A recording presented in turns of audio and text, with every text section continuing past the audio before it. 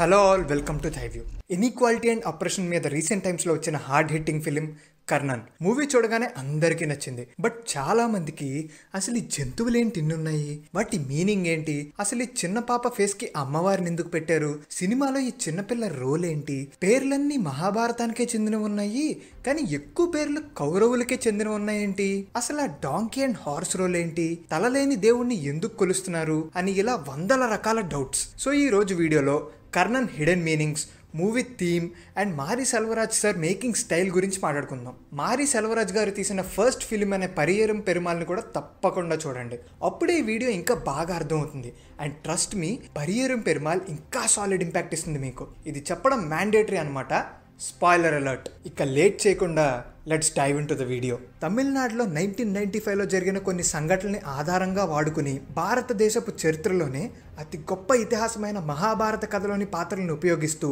చెప్పిన కథే మారి సెల్వరాజ్ గారి కర్ణన్ సినిమాలోని పాత్రల పేర్ల నుంచి వాళ్ళు ఉండే ఊరి పేరు చూపించే యానిమల్స్ యూస్ చేసుకున్న సింబల్స్ పెయింటింగ్స్ దేవుడి విగ్రహాలు ఇలా చాలా అంటే చాలా మెటాఫర్స్ ఉపయోగించి కథను ముందుకు తీసుకెళ్ళారు. సో ఈ వీడియోలో కర్ణన్ మూవీని సీన్ వైజ్ బ్రేక్ డౌన్ చేస్తూ ఆ డీటెయిల్స్ ఏంటో డిస్కస్ చేద్దాం. ఓపెనింగ్ సీన్లో క్రెడిట్స్ రోల్ అవుతున్న సౌండ్తో మనకి ఆల్రెడీ కర్ణన్ వరల్డ్లోకి తీసుకెళ్ళారు మారి. దగ్గర దగ్గర రెండు నిమిషాల పైనే మనకి రోడ్డు మీద ఉన్నట్టు సౌండ్స్ వస్తూ ఉంటాయి. సినిమా ఓపెన్ అవగానే కాకులు కనబడతాయి. ఆ తర్వాత స్లో మోషన్లో రివీల్ అయ్యేది ఏంటంటే ఒక చిన్న పాప ప్రాణాల కోసం అలమటిస్తూ రోడ్డు మీద పడిపోయినా పట్టించుకునే నాదుడే లేడని. ఆ పాప చనిపోతుంది. సెల్వరాజ్ గారి మొదటి సినిమా పరియేరం పెరుమాల్ ఓపెనింగ్ సీన్లో కూడా కరుప్పి అనే కుక్క చనిపోవడంతో మొదలవుతుంది. కర్ణంలో కూడా ఆ పాప చనిపోతుంది. ఆయన ఒక ఇంటర్వ్యూలో ఈ విషయం గురించి చెప్తూ ఇలా అన్నారు. నేను చెప్పాలనుకుంటున్న కథకి సంబంధించిన థీమ్ని ఒక అన్కంఫర్టబుల్ వేలో ఆడియన్స్కి ఇంట్రడ్యూస్ చేస్తాను. అలా చేయడం ద్వారా వాళ్ళ అటెన్షన్ నాకు దక్కుతుంది. ఒక నోరు లేని మూగజీవం ఒక చిన్న పాప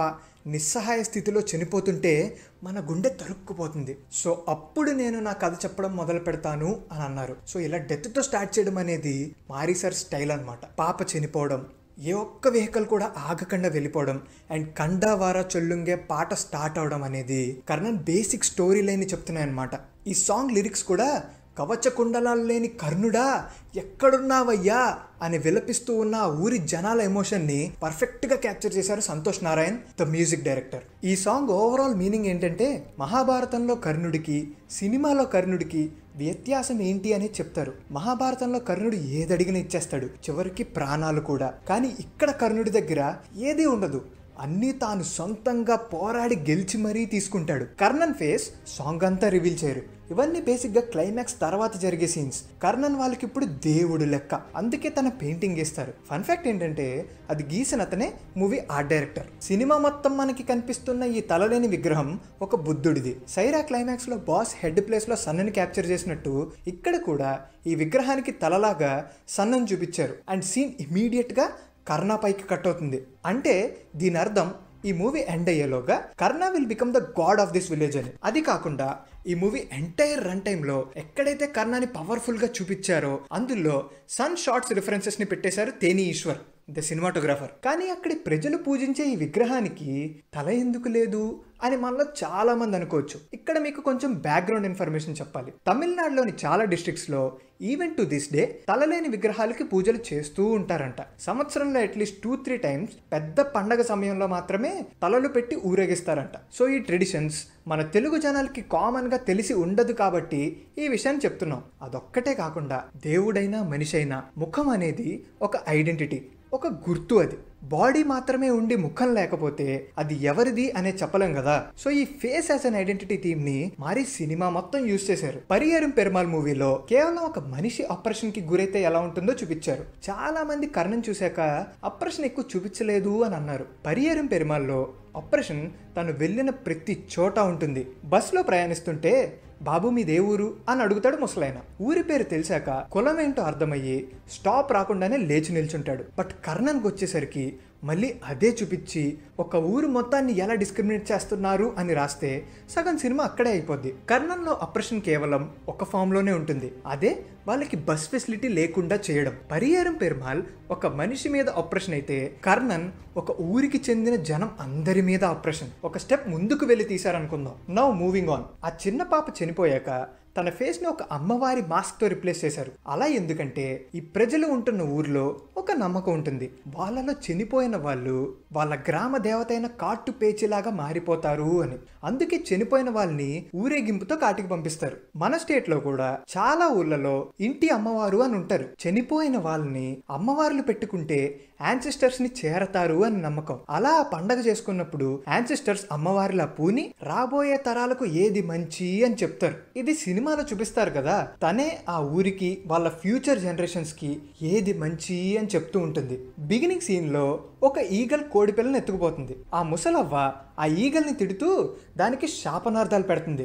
ఏదో ఒక రోజు నీ రెక్కలు కట్టేసే సమయం వస్తుంది నీ పాపం పండుతుంది అన్నట్టు. ఇది మనకి సెకండ్ హాఫ్లో వచ్చే సీన్స్ అన్నిటికీ ఫోర్ షాడోయింగ్ అనమాట కర్ణ ఏమెంతో వెళ్ళిపోతున్నప్పుడు ఇలా అంటాడు. ఎలాగో ఆ గద్ద కోడిపిల్లని తినేస్తుంది అది తెలిసి కూడా దాని చుట్టూ చేరి వేడుకుంటున్నారేంటి అని. ఇది కూడా సెకండ్ హాఫ్లో జరగబోయే ఇన్సిడెంట్స్కి ఫోర్ షాడోయింగ్ ఈ సినిమాలో లాల్ గారి క్యారెక్టర్ పేరు యమన్ అంటే యముడు. దుర్యోధన కనిపించే ఫస్ట్ ఫ్రేమ్లో మట్టితో టెంపుల్ కడుతూ ఉంటాడు. ఈ ఫిష్ని నరికే రిచువల్ చూడడానికి కూడా పెద్దగా ఇంట్రెస్ట్ చూపించడు.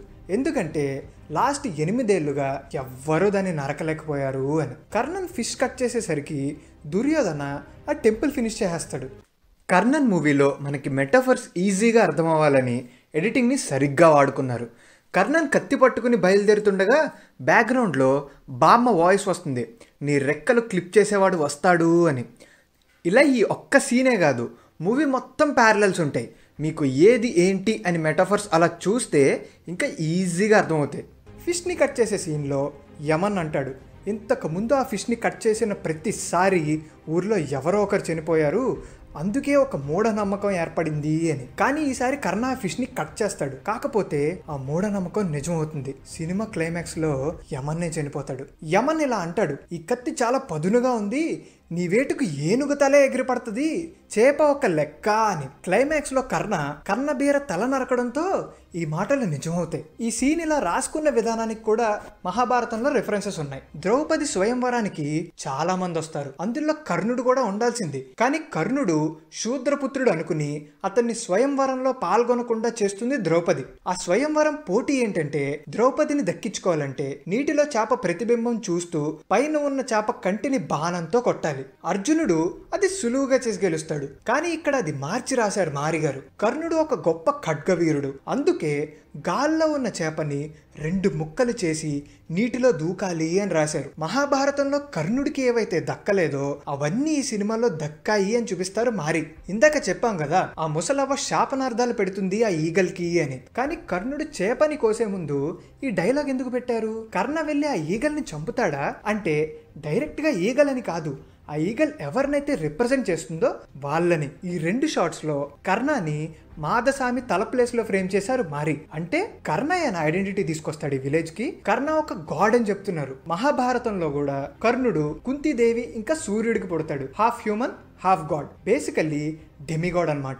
అది ఈ షార్ట్స్లో ఎస్టాబ్లిష్ చేశారు. యమన్ చెప్పే డైలాగ్ కూడా అదే విషయాన్ని చెప్తుంది. మాదసామి విగ్రహానికి వాహనం ఏనుగు. అందుకే ఆ పోటీలో గెలిచిన వాళ్ళని దానిపైన ఊరేగిస్తారు. వీళ్ళ సెలబ్రేషన్స్ వల్ల ట్రాఫిక్ ఆగిపోవడంతో ఎస్ఐ ఈ విలేజర్స్ గురించి చెప్తాడు. సో అప్పుడు మనకి ఫస్ట్ టైం రివీల్ అయ్యేది ఏంటంటే ఈ విలేజ్ పేరు పొడియంకులం అండ్ పక్కనున్న ఊరి పేరు మేలూరు. పొడియంకులం వాళ్ళకి బస్ సర్వీస్ బస్ స్టాప్ ఉండవు. ప్రతిసారి మేలూరు వెళ్ళి అక్కడ బస్ స్టాప్లో బస్ ఎక్కాల్సిందే. మేలూరు వాళ్ళు ఈ జనాల్ని ఇక్కడ స్థావరం ఏర్పరచుకోవడానికి భూమి ఇచ్చినందుకు వాళ్ళపైన పెత్తనం చలాయిస్తూ ఉంటారు. పొడియంగోళం అంటే కింది కులం లోవర్ క్యాస్ట్ అని. మేలూరు అంటే ఒక అప్పర్ క్యాస్ట్ ఫీల్ వచ్చేలాగా పేరు పెట్టారు. స్టోరీలోనే కాదు పేర్లతో కూడా అప్రెషన్ని స్ట్రాంగ్గా ఎస్టాబ్లిష్ చేస్తున్నారు మారి. వీడియో స్టార్టింగ్లో చెప్పాం కదా తమిళనాడు హిస్టరీలో జరిగిన సంఘటనల బేస్డ్ అని. ఆ సంఘటనలు జరిగింది పంతొమ్మిది వందల తొంభై ఐదులో కోడియంగులం వైలెన్స్ అని గూగుల్ చేయండి. మీకే తెలుస్తుంది. సావేజెస్ అన్నప్పుడు కూడా షార్ట్ ఏరియల్ ఉంటుంది. పైనుంచి ఎవరో చూస్తున్నట్టు. అది ఎవరో కాదు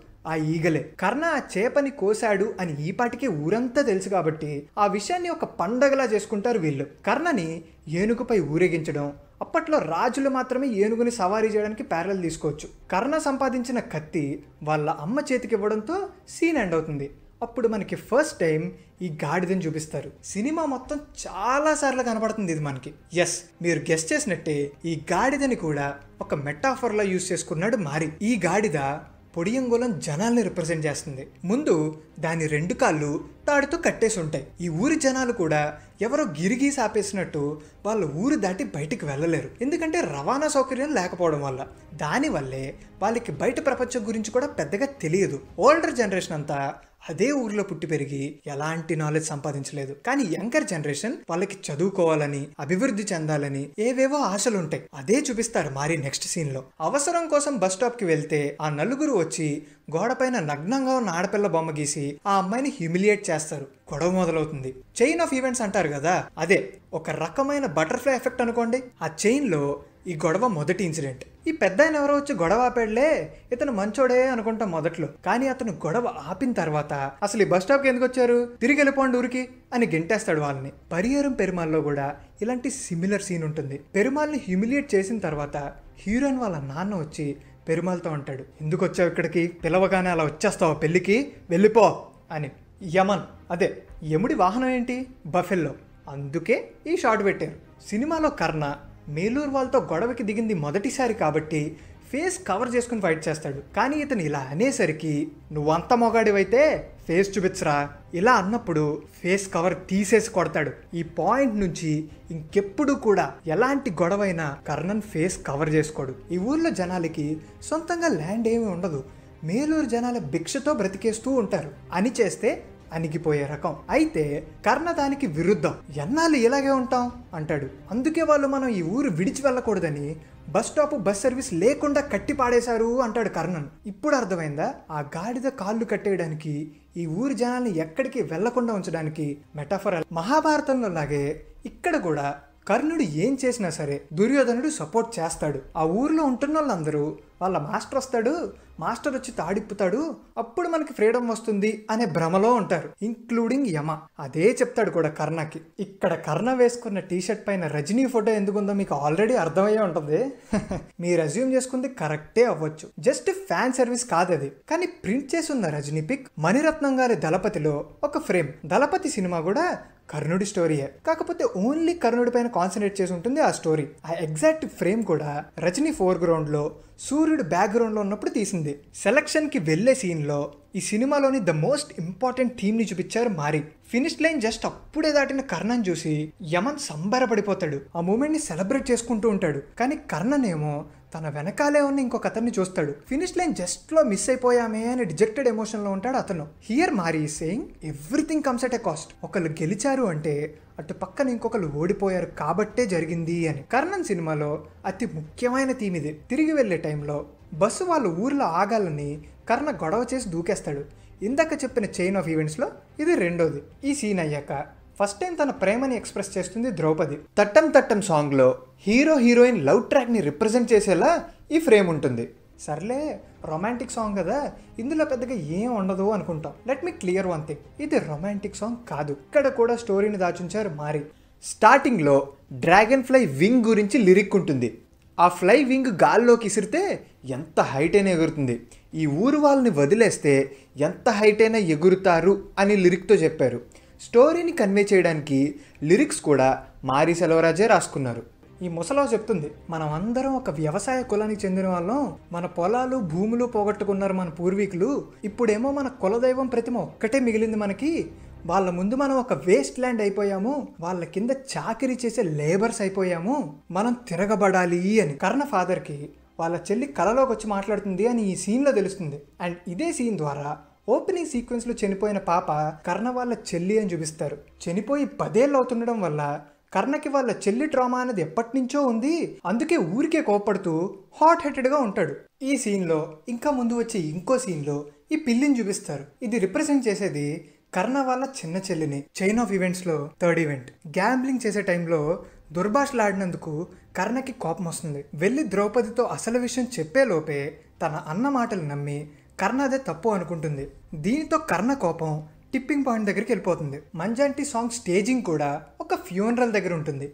స్టార్టింగ్ చెప్పాం కదా ఇక్కడ కమ్యూనిటీ వాళ్ళకి చావు అంటే ఒక సెలబ్రేషన్. వాళ్ళ నమ్మకాలు అలా ఉంటాయి కాబట్టి చావు కూడా తప్పులు దరువులతో డ్యాన్సులు వేసి పండగలా చేసుకుంటారు. మంజాంటి యమన్ వైఫ్ అని ముందే తెలుసు కదా. సో ఈ పాటలో కూడా వాళ్ళ లైఫ్లో జరిగిన కొన్ని ఇన్సిడెంట్స్ని నెమరవేస్తూ ఉంటాడు యమన్. అందులో తనని తాను ఇలా బుల్ లాగా రెఫర్ చేసుకుంటాడు. నన్ను తీసుకెళ్ళి ఏనుగు మీద కూర్చోబెట్టింది అంటే మంజాంటి చెప్పడం వల్ల ముప్పై ఏళ్ళ కిందటే యమన్ ఆ చేపని కత్తితో కోశాడు కర్ణలాగే ఏనుగు పైన ఊరేగించారు అని చెప్తూ ఉంటాడు యమన్. కానీ ఆ మూఢనమ్మకం ప్రకారం యమన్ చేపని కోసిన తర్వాత మంజాంటి కలరగ బలైపోతుంది. ఈసారి కర్ణ చేపని కోశాడు కాబట్టి ఆ మూఢనమ్మకం ప్రకారం యమన్ చనిపోతాడు. ఇక్కడ వాల్ పైన గీస్తున్న ఫేస్ పెయింటింగ్ ఎవరిదో మనకి లాస్ట్లో రివీల్ అవుతుంది. ఈ రోల్ ఇమాన్యుయల్ శేఖరన్ అనే ఒక దళిత్ రైట్స్ యాక్టివిస్ట్ నుంచి ఇన్స్పైర్ అయ్యారు. ఆయన ఒక ex military soldier who was assassinated in Tamil Nadu by some political goons. Karnan సినిమాలో కూడా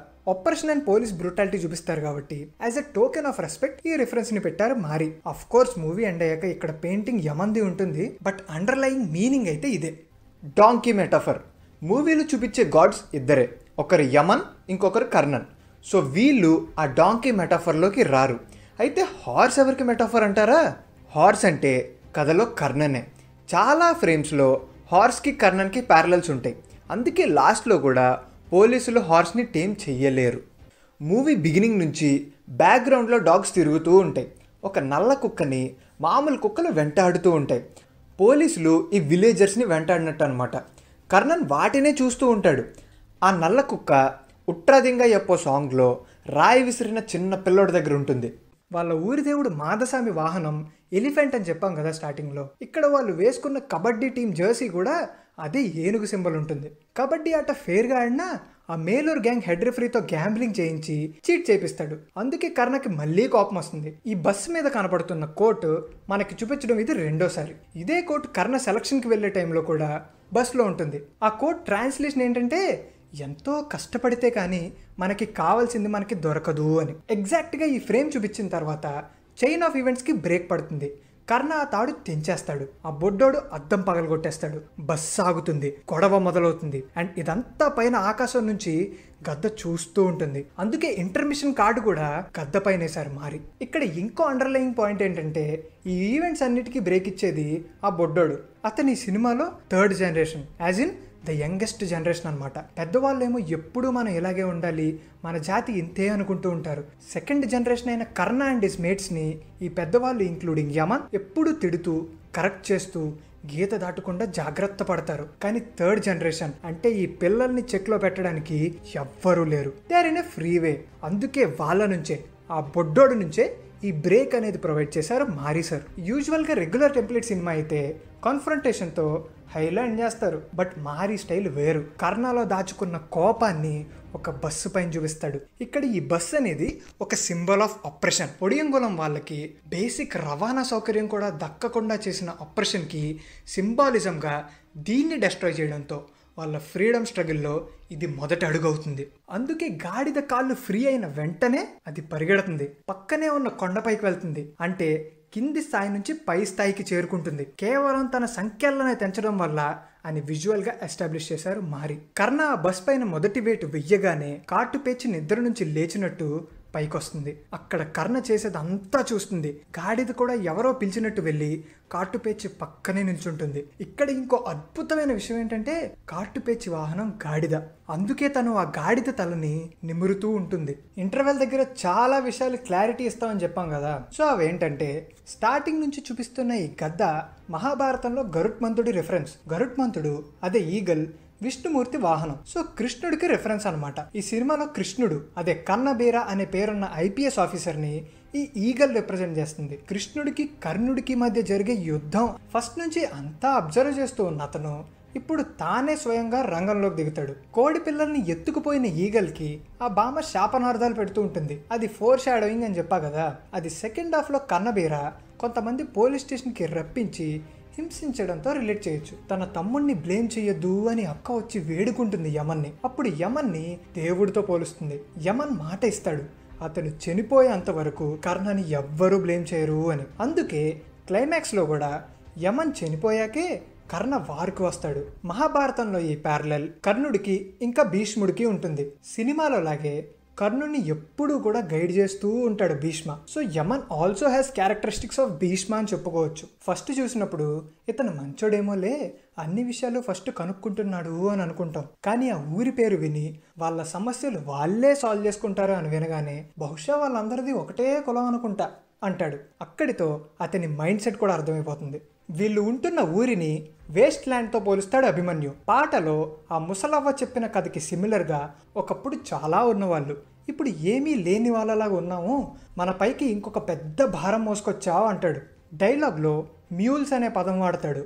మ్యూల్స్ అంటే డాంకీ. ఇదొక డైరెక్ట్ డాంకీ రిఫరెన్స్. మేము చెప్పినట్లే సినిమాలో చూపించే donkey is a metaphor for the villagers argument పెరిగి పెరిగి చివరికి ఊర్లో ఉన్న వాళ్ళందరూ ఒకే తాటిపైకి చేరుతారు ఆల్ థ్యాంక్స్ టు ద ముసలవ్వ నెక్స్ట్ సీన్లో పోలీసులు రావడం చూసి అందరూ పారిపోతూ ఉంటారు. పోలీసుని చూసినప్పుడు ఒక ప్రొటెక్టివ్ ఫీలింగ్ రావాలి కానీ భయపడ్డం ఏంటి? అదేగా ఐరని తన పేరు తన తండ్రి పేరు ఇంకా తన బ్యాక్గ్రౌండ్లోనే గౌరవం ఆటోమేటిక్గా ఉంటుంది అనే మైండ్ సెట్ ఉంటుంది పోలీసులకి. అందుకే దుర్యోధన అభిమన్యు అనే పేర్లు చూసి హేళన చేస్తారు వాళ్ళని. ఐడెంటిటీ థీమ్ని సెకండ్ హాఫ్లో సీన్ సీన్కి ఒక్కో నోచ్ పెంచుతూ వెళ్తారు మారి. మాదస్వామి విగ్రహం ఊరికి దేవుడు కాబట్టి గాడ్ ఆఫ్ క్యాటిల్ అని కూడా ఉంటుంది సబ్ టైటిల్స్లో అలా అని వాళ్ళని జంతువుల్లో చూడడం కరెక్ట్ కాదు కదా. మనం సినిమా చూస్తున్నంతసేపు ప్రతి ఫ్రేమ్లో ఏదో ఒక ఫామ్ డొమెస్టిక్ యానిమల్ కనబడుతుంది. Because it is a very basic part of their life. కేవలం తలపైన టర్బన్ వేసుకున్న వాళ్ళని ఫేస్ చేయలేను అనే పొగరుతో వేరే డైరెక్షన్లో నుంచుంటాడు కన్నబీరన్. ఇక తప్పనిసరి పరిస్థితుల్లో కర్ణ అండ్ కోని పోలీసులకి అప్పజెప్పే సమయంలో వాళ్ళు ట్యాంక్ పైన దాక్కున్నారని కన్నబేర్కి అస్సలు నచ్చదు. అందుకే ఎవరినైనా పోలీస్ స్టేషన్కి వచ్చి సైన్ చేయమంటాడు. ఆ సాకుతో వచ్చిన ఆ పెద్దవాళ్ళని చావ బాధేసి పోలీస్ స్టేషన్ టెర్రస్ పైన పాడేస్తాడు. కన్నబీరన్ ట్రిగర్ అయ్యేది ఎక్కడంటే చైర్ తీసుకుని రమ్మన్నప్పుడు వెళ్ళిన అతను చైర్ తీసుకురాకుండా బామ్మకి టాయిలెట్ వస్తుందంటే తీసుకెళ్తాడు. చైర్ని మర్చిపోతాడు. అందుకే స్టేషన్లో వాళ్ళని అంతసేపు నుంచోబెడతాడు. అలా కోపంలో ఉన్నప్పుడు చేతితో కన్నబీరన్ని తాకుతారు. తనని తాకిన రెండోసారి అంటే స్టేషన్లో కొడతాడు. వాళ్ళని అన్టచబుల్స్లా ట్రీట్ చేస్తాడు. నెగోషియేషన్స్ అయిపోయి ఒక స్టేల్మేట్కి వచ్చాక ఒక పెద్ద అయినా ఆ బస్సు ఓనర్ కాళ్ళ మీద పడబోతే కర్ణ ఆపుతాడు. అది చిన్న మూమెంట్ అయినా చాలా ఇంపార్టెంట్ మూమెంట్. అవి వాళ్ళ basic rights. Every one is equal అని చెప్పేది ఇక్కడే. సైన్ చేయాలని పోలీస్ స్టేషన్కి రమ్మన్న ఒక సాకు అని చెప్పాం కదా. సో పోలీస్ని ఈ వామ్స్తో పోలుస్తూ నీటిలో ఉన్న చేపలకి ఎరవేసి అందులో చిక్కుకున్నారు ఆ ఐదుగురు పెద్ద మనుషులు అని చూపిస్తారు ఈ సీన్లో కన్నబీరన్ ఆ పెద్దవాళ్ళపైన బ్రుటాలిటీ చేస్తుంటే గోడ మీద ఉన్న ఈ బటర్ఫ్లైతో పోలుస్తారు మరి. ఆ బటర్ఫ్లై ప్రాణం కోసం ప్రాకులాడుతున్నట్టు అలాగే ఐదుగురు కూడా కొన ఊపిరితో ఉన్నారు అని చెప్తున్నారు. వెనకాల గోడ మీద ఉన్న ఈ కొటేషన్స్ని ట్రాన్స్లేట్ చేస్తే మీనింగ్ ఇలా వచ్చింది. లెఫ్ట్ సైడ్ కోట్ సేస్ ఇప్పుడు ఎంత బాధ అనుభవిస్తే తర్వాత అంత సుఖపడతావు. రైట్ సైడ్ కోట్ సేస్ సమయం చాలా విలువైనది సరిగ్గా ఉపయోగించుకో. ఇంటర్వెల్లో ఎలా అయితే ఆపరేషన్ సింబల్ అయిన బస్ని ధ్వంసం చేస్తారో ఇప్పుడు పోలీస్ బ్రుటాలిటీ అండ్ ఒక రకమైన ఆపరేషన్కి నిదర్శనమైన పోలీస్ స్టేషన్ని ధ్వంసం చేస్తారు. అండ్ ఆఫ్ కోర్స్ అంబేద్కర్ గారి ఫ్రేమ్ ఎందుకు పెట్టారో ప్రత్యేకంగా చెప్పాల్సిన అవసరం లేదు కదా. ఈ మంచి పోలీస్ కర్ణకి వాళ్ళు ఎక్కడున్నారో చెప్పాక కర్ణ పైకి వెళ్తాడు. అక్కడ ఫ్రేమ్లో సైడ్ నుంచి ఒక బటర్ఫ్లై ఎగిరిపోతున్నట్టు సీజీఐలో క్రియేట్ చేసి ఉంచారు. ఇంతకు ముందు సీన్లో చూపించిన బటర్ఫ్లై మెటాఫర్కి క్లోజర్ అనమాట ఇది. వర్షంలో నిల్చుని అందరినీ తన వైపుకి రమ్మని ప్రేరేపిస్తాడు. తను ఎప్పుడూ వెలుతురులోనే ఉంటాడు. నీడలో చీకటి కింద తలదాచుకున్న జాతిని తట్టి లేపి రండి! ఇటు రండి అని అడుగుతున్నాడు. కర్ణ తనతో వార్కి రండి అని చెప్పి వెళ్ళిపోయాక ఈ వార్ ఎంత ఇంపార్టెంట్ అనేది తనకి తెలుసు కాబట్టి ఆ అమ్మాయి మొదటడుగు వేస్తుంది. అది చూసి మిగతా జనాలంతా కదులుతారు. ఇక్కడి నుంచి ఉట్రాదింగా ఎప్పో సాంగ్ మొదలవుతుంది. ఈ సాంగ్ పాడేది కాట్టుపేచి. ఊరిలో ఉన్న జనాల్ని ఇన్స్పైర్ చేస్తుంది. ఉట్రాదింగా ఎప్పో అంటే నెవర్ గివ్ అప్ అని అర్థం వస్తుంది. ఈ పాటలో కూడా చాలా విషయాలే దాచుంచారు మేకర్స్ ఇలా కొడవల్లాగా వంగి ఉన్న కత్తిని మాదసామి ఆయుధంగా చూపిస్తారు. అదే కర్ణ కూడా ఉపయోగిస్తాడు. ఇంటింటికి ఒక కాటు పేచి అన్నట్టు ప్రతి ఒక్కరి ఇంట్లో ఎవరో ఒకరు చనిపోయిన వాళ్ళు ఉండే ఉంటారు. వాళ్ళని రిప్రజెంట్ చేస్తూ ఈ షాట్ పెట్టారు. కాట్టుపిచ్చి ఎప్పుడూ కూడా ఈ కొండపైన ఉన్న చోట్లోనే నివసిస్తూ ఉంటుంది. ఇంటర్వెల్ టైంలో ఇక్కడి నుంచే బయటకు వస్తుంది. ఈ పాటలో అంటుందన్నమాట నేను ఇక్కడే కొండపైన ఉన్నాను చెట్టుకి నీళ్ళు లేక ఎలా వాడిపోతుందో అలా వాడిపోతున్నాను. గమనిస్తున్నారా జనులారా అని అడుగుతుంది. ఊరు మొత్తం వల్లకాడైపోయినా తదుపరి తరాల కోసమైనా నువ్వు త్యాగం చెయ్యాలి ఊరు విడిచి వెళ్ళాలి అంటాడు దుర్యోధన. పొలిమేర దాటి కర్ణ కాలు ఇలా బయట పెట్టాడో లేదో కన్నబేర మొత్తం ఫోర్స్తో దిగుతాడు. ఇంటర్వెల్ సీన్లో ఆ బొడ్డోడు రాయి విసిరి గొడవ ఎలా అయితే స్టార్ట్ చేస్తాడో ఫైనల్ బ్యాటిల్ పెరుమాల్ రాయి విసరడంతో స్టార్ట్ అవుతుంది. ఈ ఫైనల్ బ్యాటిల్ అయ్యే సీక్వెన్స్ మొత్తం ఆ ప్రెగ్నెంట్ లేడీ లేబర్ పెయిన్స్తో సౌండ్ ఓవర్లే చేయడం అనే ఐడియా అసలు మైండ్ బ్లోయింగ్ ఇలా చేయడంలో కూడా ఇంకో మీనింగ్ ఉంది. పోలీస్ స్టేషన్ సీన్ దగ్గర ఒక కోట్ ఉంది గుర్తుందా? ఇప్పుడు ఎంత బాధ అనుభవిస్తే తర్వాత అంత సుఖపడతావు. ఆ కోట్ని ఇక్కడ సిచ్యువేషన్కి ప్యారలల్ డ్రా చేయొచ్చు. ఊర్లో జనాలందరూ ఫైట్ చేసి రక్తం చిందించి తమ ఫ్రీడమ్ కోసం బేసిక్ రైట్స్ కోసం పోరాడితేనే ఫ్యూచర్ జనరేషన్స్ ఆ కష్టానికి తగ్గ ప్రతిఫలం పొందగలుగుతాయి. చివరికి పోలీసులు కూడా ఆ హార్స్ని కంట్రోల్ చేయలేకపోతారు. ఇంతకు ముందే చెప్పాం హ్యూమన్ క్యారెక్టర్లో భీష్ముడి షేడ్స్ ఉంటాయి అని. ఈ సీన్లో అది ఇంకా క్లియర్గా ఉంటుంది. తను చనిపోతేనే ఆ యుద్ధం ఆగుతుంది. తన ప్రాణాలు అర్పించి తన కమ్యూనిటీని కాపాడతా అని చనిపోతాడు యమన్. ఆ నెక్స్ట్ జనరేషన్ బేబీకి బర్త్ ఇచ్చేది ఆ ఐదుగురు village heads. Finally after many tries Perumal ఆ హార్స్ని ఎక్కి సవారీ చేస్తాడు. సెల్వరాజ్ గారి మొదటి cinema Pariyerum Perumal title meaning god riding the horse. కానీ ఇక్కడ పెరుమాల్ అనేది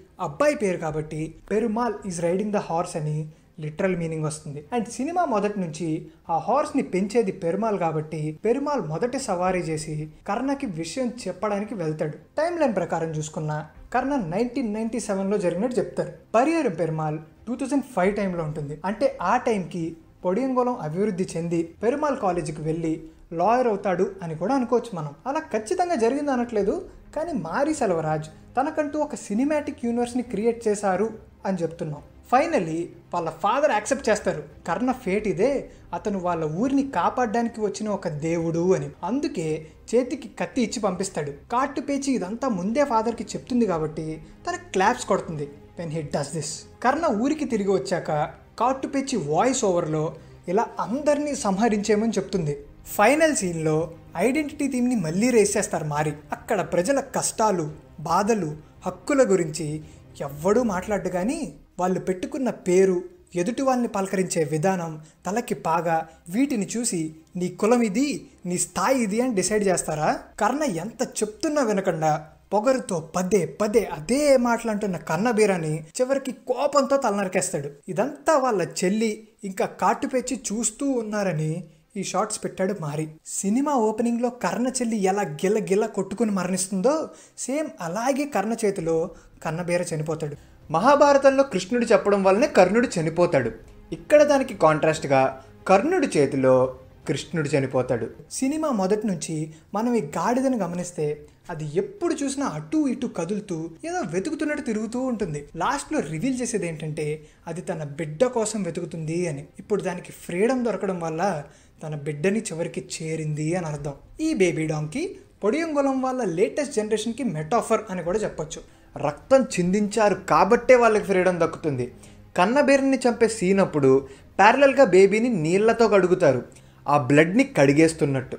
పదేళ్ళ తర్వాత ఆ రోజు జరిగిన సంఘటనలకి ప్రతిఫలాలు పొడియంగొలం ఊర్లో జనాలకి దక్కడం మనం చూస్తాం. కన్నబీర వధతో ఐడెంటిటీ థీమ్ని ఎండ్ చేసిన మారి ఇక్కడ ఫేస్ పెయింటింగ్తో దానికి ఒక ఫుల్ క్లోజర్ ఇస్తారు. Everything comes at a cost అనే థీమ్కి కూడా క్లోజర్ ఇస్తూ చనిపోయిన వాళ్ళని మళ్ళీ ఒక్కసారి నెంబర్ వేసుకుంటాడు. కర్ణన్ తిరిగి రావడంతో మళ్ళీ ఊర్లో పండగ వాతావరణం అల్లుకుంటుంది. కాట్టు పేచి రూపంలో ఉన్న కర్ణ చెల్లి ఆత్మ శాంతించి వాళ్ళ యాన్సెస్టర్స్ని చేరుతుంది. పోలీస్ స్టేషన్ సీన్లో పెద్దవాళ్ళని బటర్ఫ్లై మెటాఫర్తో చూపించిన మారి ఇక్కడ చెల్లి వాళ్ళని చేరినట్టు సీజే బటర్ఫ్లైస్తో సింబాలిక్గా ఎస్టాబ్లిష్ చేస్తారు. ఇలా మారి సెల్వరాజ్ గారి రీటెల్లింగ్ ఆఫ్ మహాభారతం ముగుస్తుంది.